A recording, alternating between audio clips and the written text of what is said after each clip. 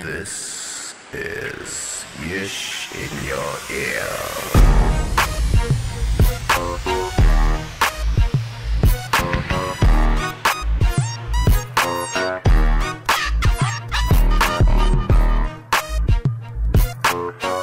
What's good? I am Yish. This is Yish in your ear.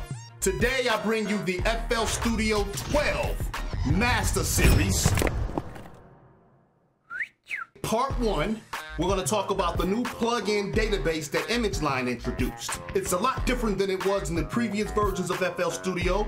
It allows a lot more customization and organization. Alright, so enough of me talking. Huh, let's get to it. All right, so under the plugin database um, icon in the browser, you have three folders, the effects, the generators, and the installed. Um, the installed is all of the plugins that you have installed on your system, which FL Studio um, scans for. Uh, the effects are put into a separate category, generators are put into a separate category. Um, and then you have your favorite folders, at the top, which is effects and again generators. And under these, you have uh, the various categories or sub folders um, for the plugins themselves to be stored into. A word of caution FL Studio 12 at the moment of this video registers some of the plugins types incorrectly. Um, and what I mean by that is some of the synthesizers are registering as effects and some of the effects are registering as synthesizers. Um, so you have to be careful with that. All right. So moving on, what we're going to do is we're going to kind of start from scratch with the categories because right now this has things in it that I don't necessarily use. Um, and I want to customize it to my own liking. If you right click on one of the three folders in here, effects, generators, and install, and go to open, you'll find that that folder in the browser is an actual folder on the hard drive. Now, word of caution, do not remove this um, set of files here that says none. Those are required in order to remove a plugin from uh, either your channel rack or your mixer. If you take those off, this disappears. I am going to customize this how I want. So I'm going to start off by first removing these from here and I'm going to drop them in here. Now you can put them anywhere you choose. It's up to you. All right. So now our effects folder is generally empty. I'll do the same thing with the generators folder.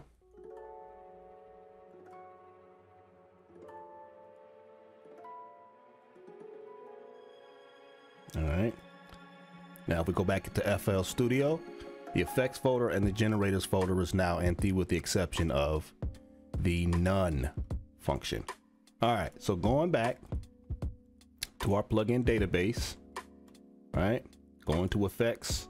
Actually, let's do this. Let's start with generators. I'm going to create a new folder. I'm going to call it drums. Create another new folder. Call it synths. Create another new folder samplers, and finally another new folder. We'll call it miscellaneous. All right, and as you can see, as I create these here, it creates them over here. If we go into effects, we can do reverb, we can do delay, we can do dynamics, saturation, modeling, whatever. And again, it's showing up over here on the left side. Okay, so now that we got that set how we want it, there are a few ways, specifically two ways to um, to set up your your favorites here. I'll show you the quick and easy way. All right. I'm going to go into install. I'm going to go into effects, VST. I'm going to grab all of the MDA plugins, right? Copy. I'm going to go back to effects. I'm going to put a new folder here. MDA. All right.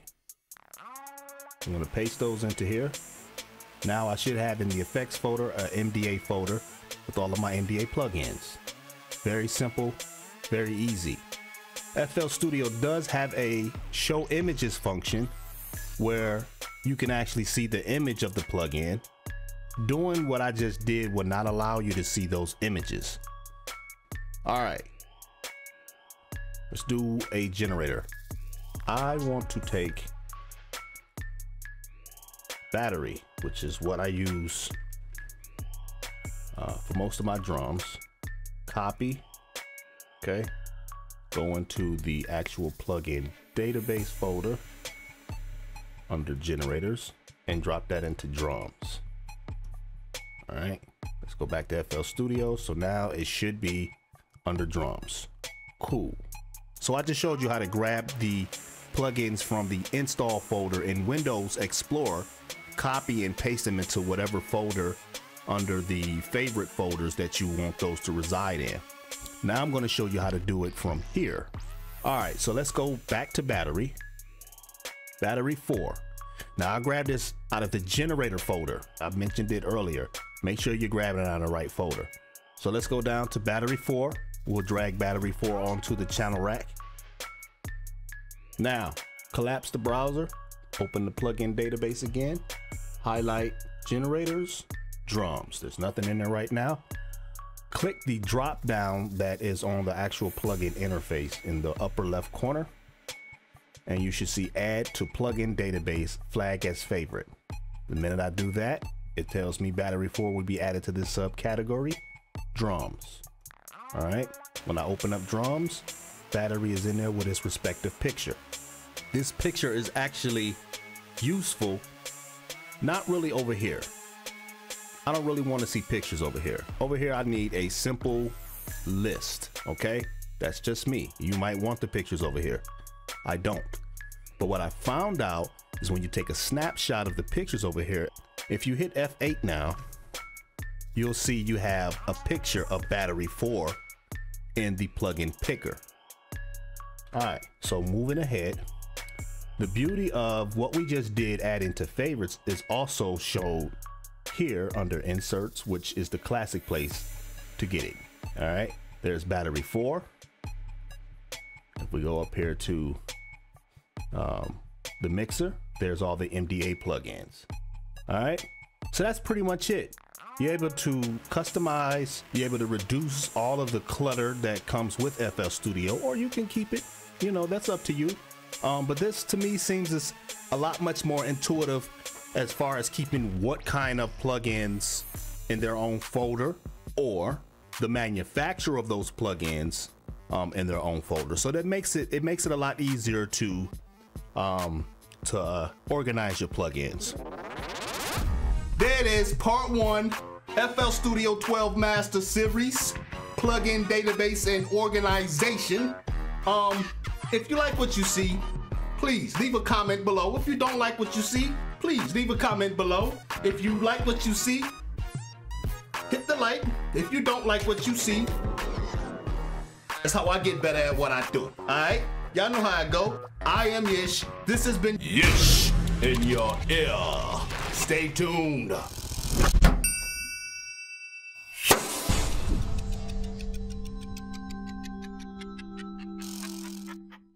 the producers.